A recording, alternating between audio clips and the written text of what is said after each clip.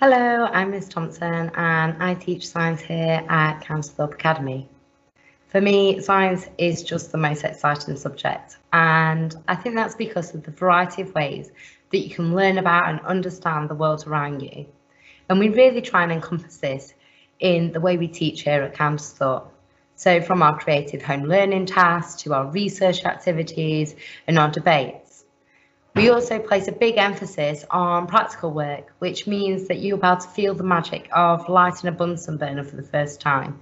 You'll get to discover the inner workings of the heart and the lungs and how electricity moves around a circuit.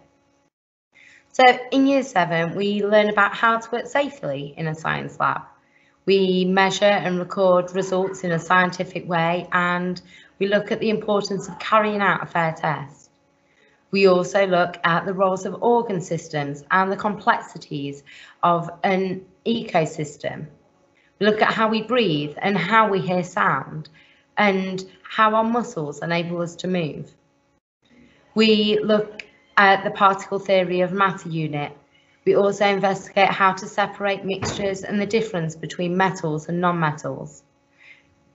We look at how we identify acids and alkalis and how to build electrical circuits. Finally, we look at the, the effect of forces and we research energy resources. So in science here at Countesthorpe, you're taught biology, chemistry and physics units by two different teachers. All of our lessons are taught in a science lab, which enables us to embed those inquiry and practical skills.